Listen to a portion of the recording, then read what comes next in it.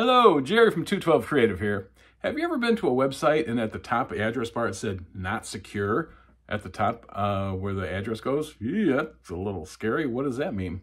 Well, what that means is it's missing an SSL certificate. SSL stands for Secure Socket Layer. Now that you know that, you can forget that. You'll never need to know that the rest of your life.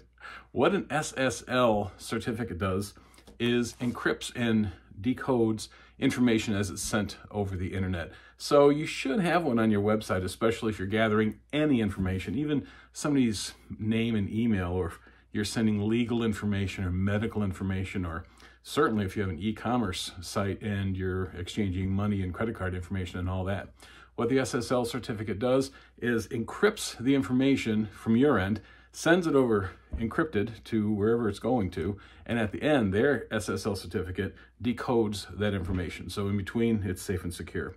If you need one, you can just uh, check with your hosting uh, company. Uh, they'll do it for, you know, probably not too much money.